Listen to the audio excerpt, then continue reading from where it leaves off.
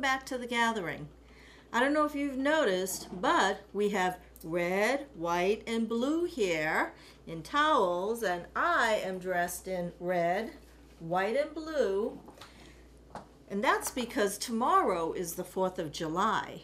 And because on the holiday, most people have family picnics, cookouts, barbecues, pool parties, family reunions to go to, I thought it would be fun to have a little gathering the day before. So today's gathering is a pre 4th pontoon party on the lake.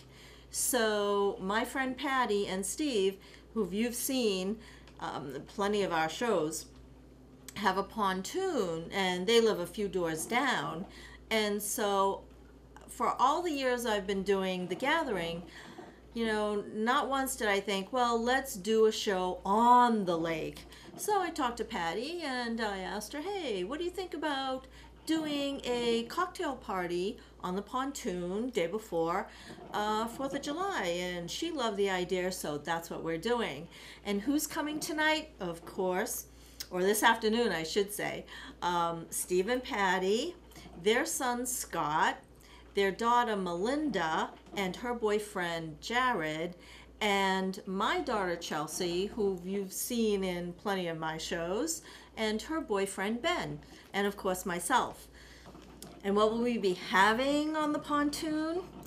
We'll be having mini brie bites, summertime seafood shots, festive feta with romanesco and tapenade, French onion soup stuffed mushrooms, pesto tomato chicken bites, red, white, and blue fruit kebabs, and to wash it all down with, we're going to be drinking patriotic layered drinks. So let's get to it.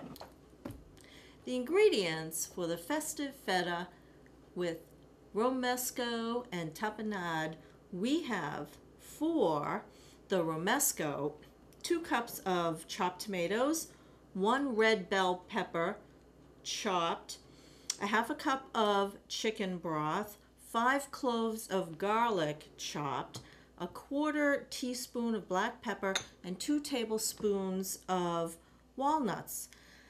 Now for the tapenade, we have two cups of pitted Kalamata olives, one tablespoon of olive oil, two tablespoons of sherry, a quarter cup of flat leaf Italian parsley. We call it Italian, it's flat leaf parsley, and a quarter cup of uh, black pepper again.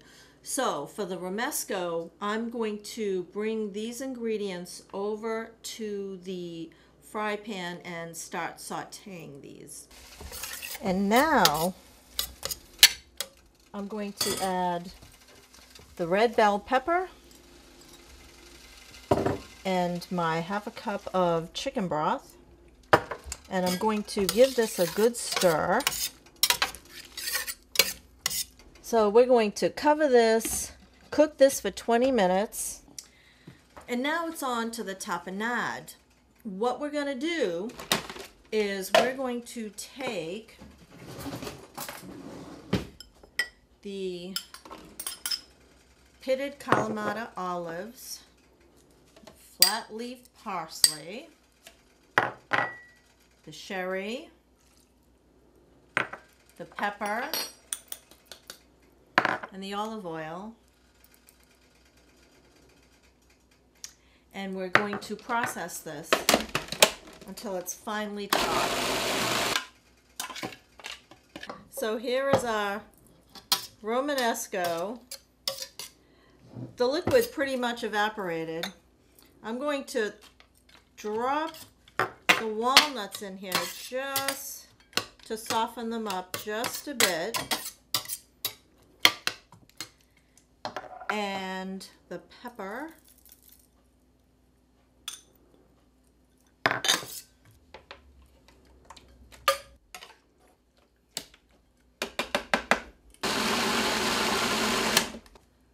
Romesco.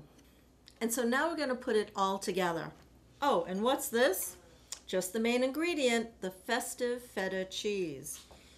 So what we're going to do is we're going to take in a prepared baking dish, we are going to spoon half the romesco, and then we're going to dollop the tapenade.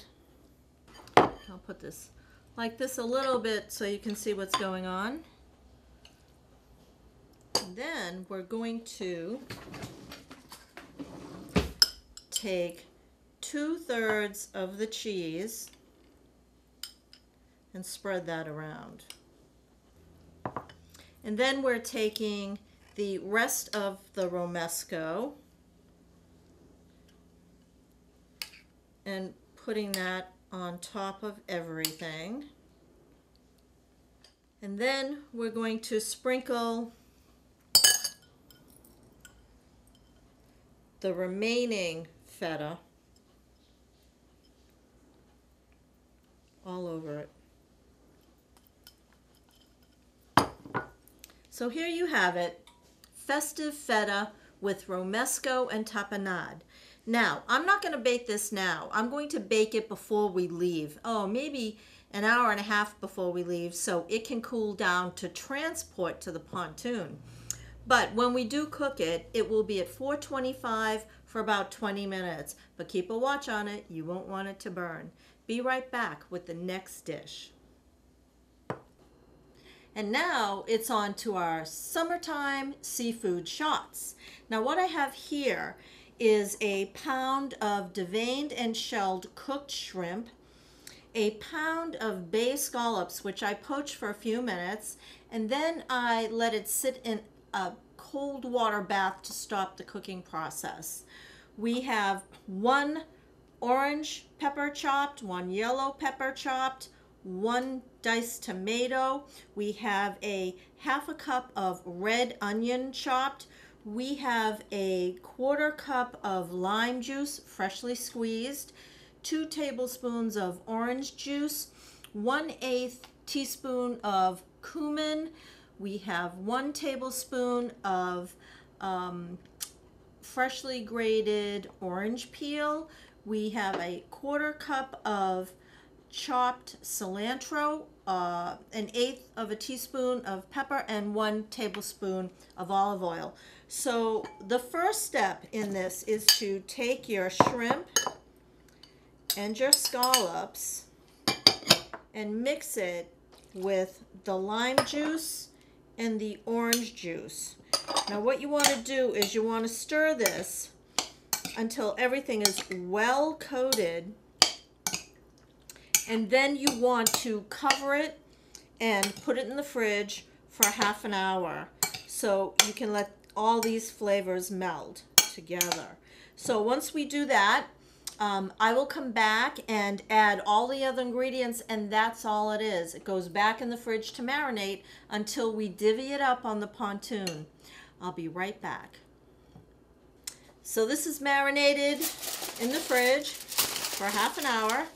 And now I'm going to add my other ingredients.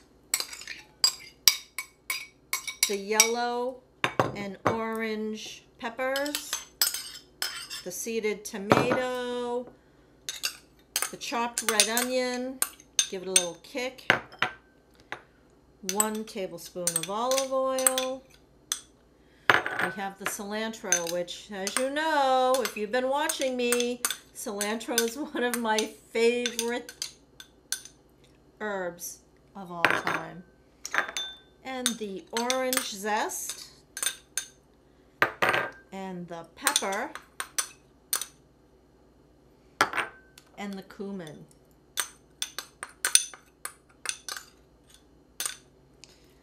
I'm just going to mix everything all together and you can see what a beautiful presentation this is going to be.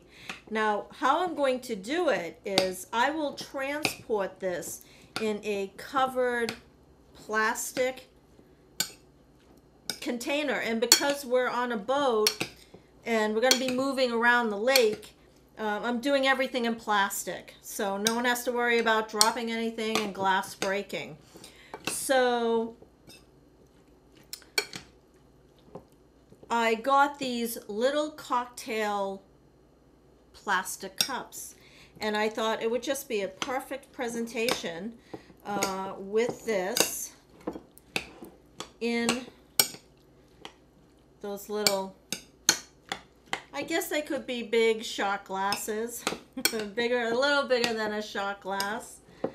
But uh, you get the picture. And I think this is going to be a big hit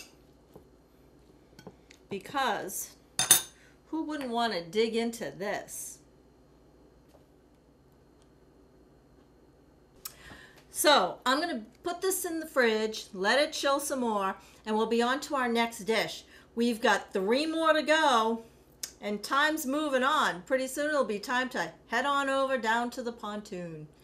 Be right back. And now it's on to the French onion soup stuffed mushrooms. I know, and I said I'd explain it later. French, um, this being 4th of July, Independence Day, America. Well, I chose this dish because my daughter loves French onion soup. And, um, and we recently went to Paris for a week to celebrate a birthday of mine. And, um, and that'll be another show. That'll be a French show. But, uh, you know, I saw this recipe and thought, this is really interesting. Let me do this. So what we have here are two packages of white mushrooms, two white onions chopped, a quarter cup of beef broth, a splash of white wine, seven splashes of Worcestershire sauce, um, a couple of teaspoons of chopped parsley, two tablespoons of butter, and a block of Gruyere cheese, shredded. So what I like to do when I'm using mushrooms, I like to go ahead and hollow out the inside so you can stuff them a little better. And I know you've seen that before in one of my shows. So that's what I'm going to do. I'm going to go ahead and do this. And when I'm done with this, we'll go ahead and move everything over to the stove, except for the cheese, so that we can uh, start the process. So that's done. And as you can see, it's hollowed out. It's much bigger, so you're able to put more stuffing in. And hey, who doesn't like more stuffing?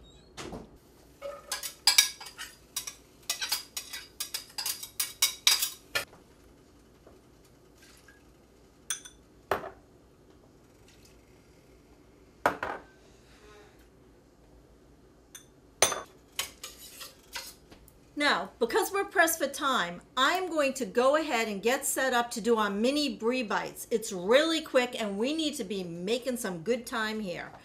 Okay, so I'll be right back getting that stuff together while I'm cooking the onions.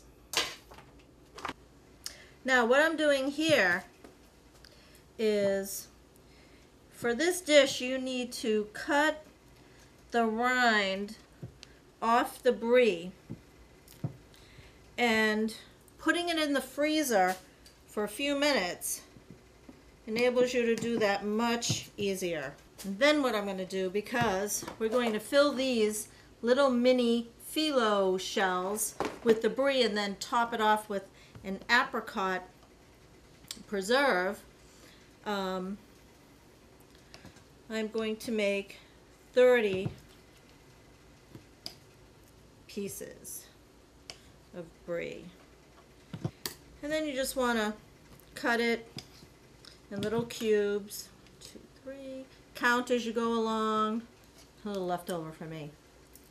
Just a bite. Aren't they beautiful? Already made. And this smells like I'm back in Paris. Having that French onion soup. in that outdoor cafe. Okay, so what we're going to do is take a shell, a brie,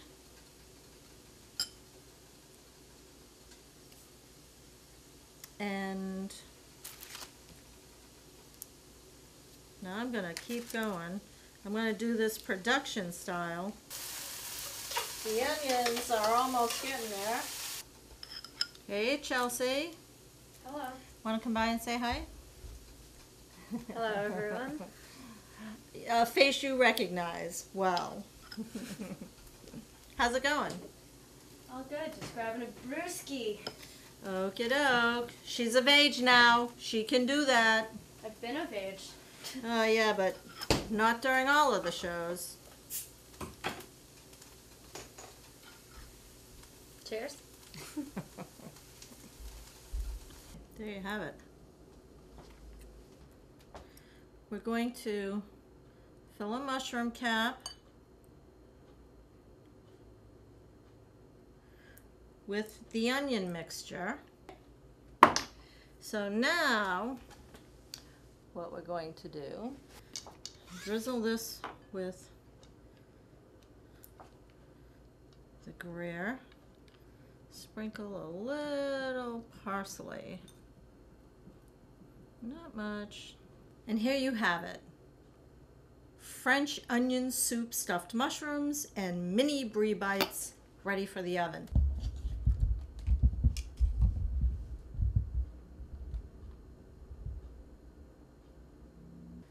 So I'm going to pop these both in the oven at 350 for about 5 to 10 minutes. Keep a watch because they will be done at different times. And here are the mini brie bites and the French onion soup stuffed mushrooms right out of the oven. Hello. Well, this is the second to the last dish, and it's 10 past 2. We're supposed to be at Patty and Steve's at 3, so I gotta move it right along. So, this is the pesto and tomato chicken bites. What we're gonna do is we're going to start making the pesto. So, I have here two cups of fresh basil leaves and a third of a cup of fresh pine nuts.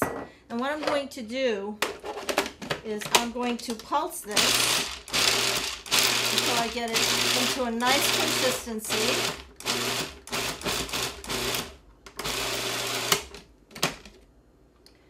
And that looks really nice. You can see that. And then what we're going to do is we are going to add our Parmesan cheese and our garlic and pulse that some more.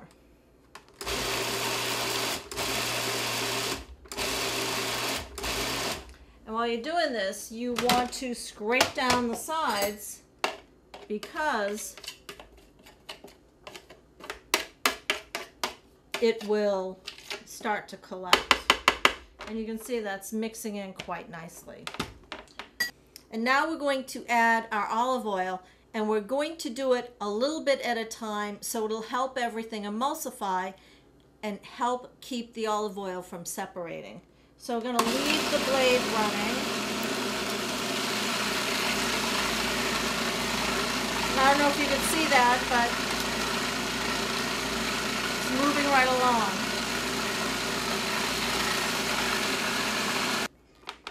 And that looks like perfect pesto to me.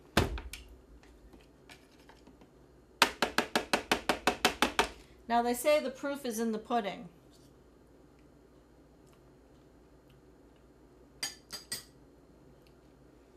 And if this was pudding, I'd be eating it all day. So now what we want to do is take the pesto, pour it on the chicken. Make sure you get it nice and coated. We're going to get a little messy. I have a pre-sprayed pan and skewers that have been soaking because if you put them in the oven without soaking them, they could burn. And we wouldn't want that. So very simple. We're going to take a chicken piece, thread it. And you know, thread it so that it's it's on there pretty good. And then thread a grape tomato. How cute is that?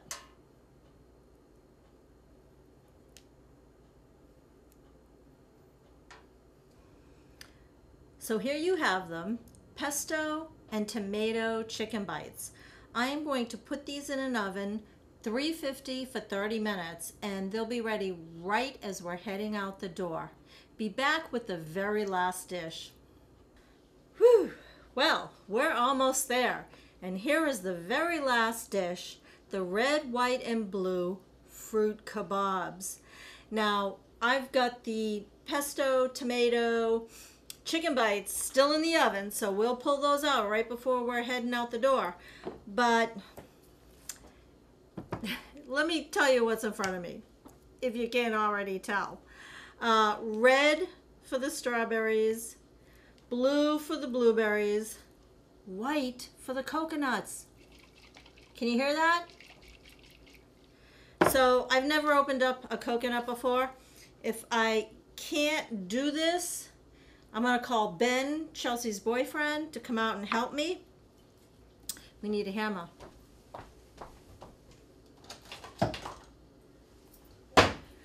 So first what you want to do is get a Phillips head screwdriver and clean it very well. And then you want to find the soft eye. And I think it's this one. And you want to make sure you have a very sturdy, very sturdy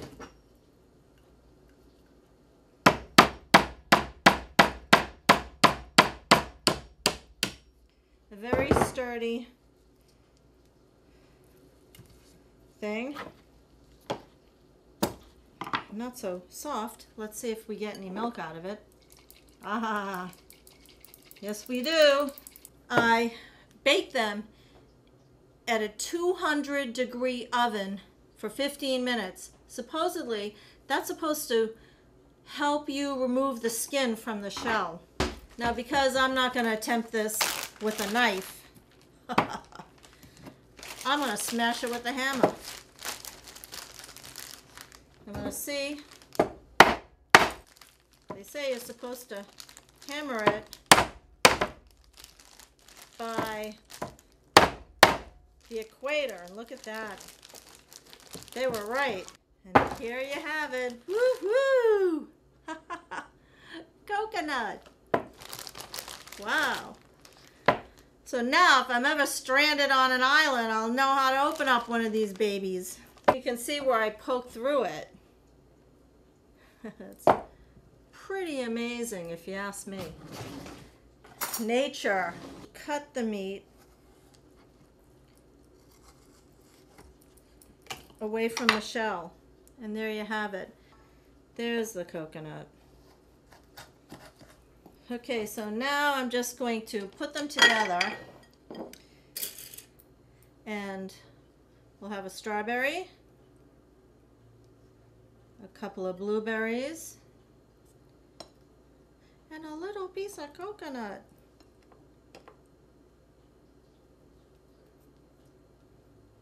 red, white, and blue. Oh, red, blue, and white. I should mix it up.